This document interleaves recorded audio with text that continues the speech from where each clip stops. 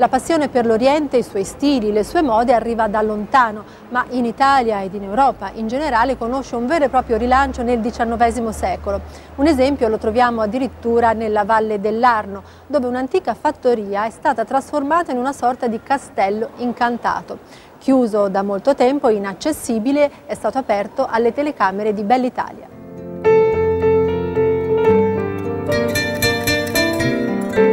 Fra i tanti corridoi naturali nei quali attraverso i secoli si è incanalata la storia italiana c'è quello del Valdarno Superiore tra Firenze ed Arezzo. Qui correva la strada per Roma, una strada importante per viaggiatori importanti. Carlo Magno, ad esempio, il futuro imperatore ci passa nell'anno 780. Dopo aver vinto e catturato Desiderio, ex re dei Longobardi, era andato nell'urbe per rendere omaggio al Papa. I Longobardi, Carlo Magno, l'impero, il Papa, Roma, Firenze, il Rinascimento, insomma un territorio che è una specie di concentrato di storia e di cultura occidentale. Ma in questo mare così europeo oggi c'è un'isola orientale, è il castello di San Mezzano.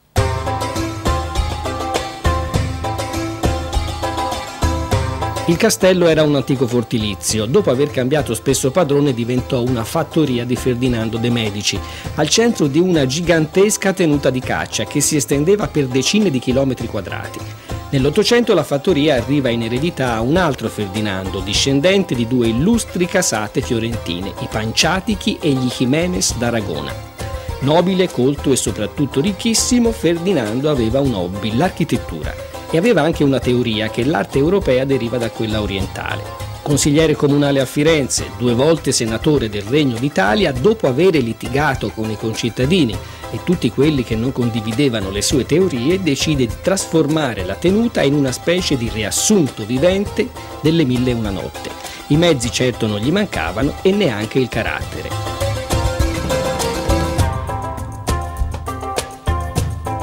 I moschettieri dicevano tutti per uno, uno per tutti. Panciatichi era di parere opposto. Guardate che cosa c'è scritto qui. Todos contra nos, nos contra todos. Tutti contro noi, noi contro tutti. Un programma al quale Panciatichi si è rigorosamente attenuto per tutta la sua vita.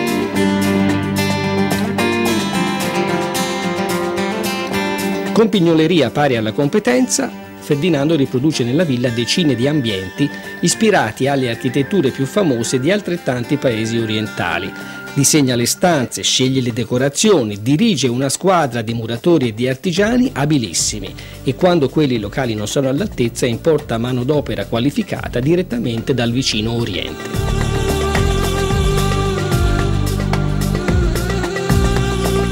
Ferdinando Panciati, chi liquida non fisicamente, ben inteso, ma finanziariamente la moglie e i figli, dotandoli di congrue rendite, si stabilisce qui a San Mezzano, dove per mezzo secolo lavora al suo grande progetto, realizzare, costruire un pezzo d'Oriente in un territorio che è stato il cuore, che è stato il centro del Rinascimento italiano.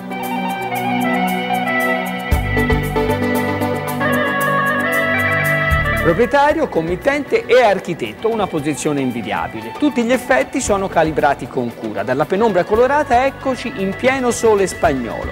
Siamo all'Alhambra. Gli stucchi candidi sono accuratamente e rigorosamente modellati su quelli della Reggia di Granada.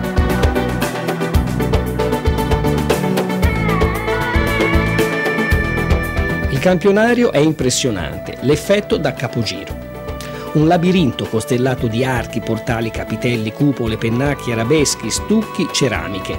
Per queste allestisce una fornace nel parco della villa, da cui viene ad esempio l'altare della cappella prodotto in un unico blocco.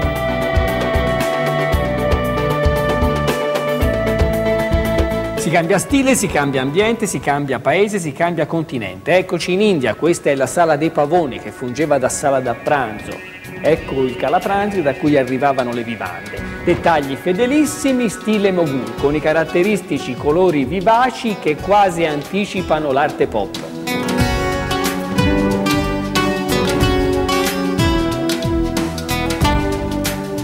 Le rare volte che Fernando aveva ospiti voleva fare bella figura e soprattutto li voleva stupire.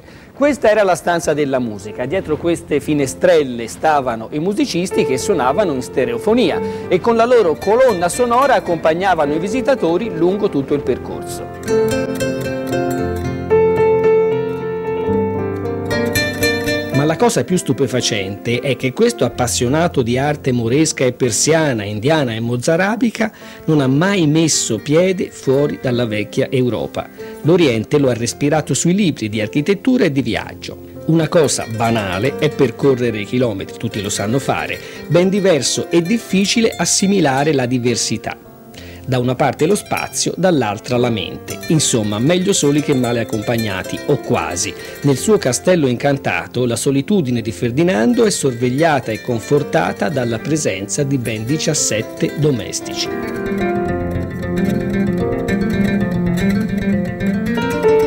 «1853-1898, quasi mezzo secolo, il risorgimento e i primi anni del Regno d'Italia». Nel 1953 Cavour prepara l'alleanza con la Francia, nel 1998 Bava Beccaris spara sui dimostranti a Milano. In questo periodo così denso di eventi, Panciatichi vive qui e si occupa esclusivamente di costruire questo suo Oriente nel Valdarno fiorentino.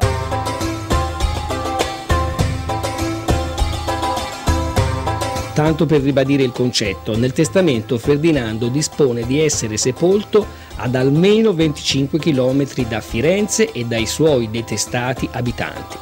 A dispetto di tutti, il suo mondo se l'è creato qui su misura e come meglio ha creduto.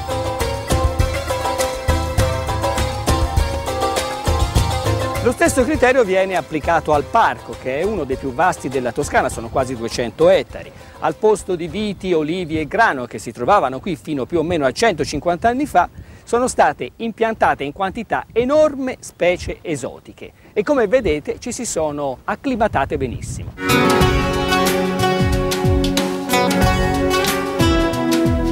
Il parco è un autentico tesoro ambientale. Spettacolare il pratone delle sequoie, ce ne sono a decine, ben 57 sono alte più di 50 metri e sono praticamente delle neonate, hanno appena 150 anni e cresceranno quindi altri 18 secoli. Ma dopo la morte di Ferdinando, San Mezzano perde l'anima, cambia e ricambia padrone in una decadenza lenta e affascinante come la sua costruzione. Un fascino congelato a futura memoria in questa spettacolare campagna fotografica di Massimo Listri, edita da Idea Books. Un progetto di recupero c'è, prevede la realizzazione di una struttura ricettiva che lasci assolutamente inalterati gli ambienti. Quanto al parco sarà aperto al pubblico e alla pratica sportiva, come merita del resto un complesso monumentale che per originalità non teme davvero rivali.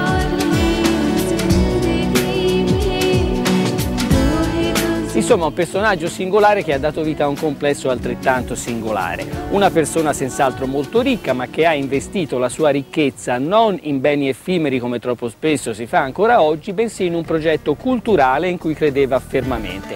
E poi da questa storia viene fuori un'altra conclusione, cioè che i veri viaggi, in fondo i viaggi più belli, sono quelli immaginati.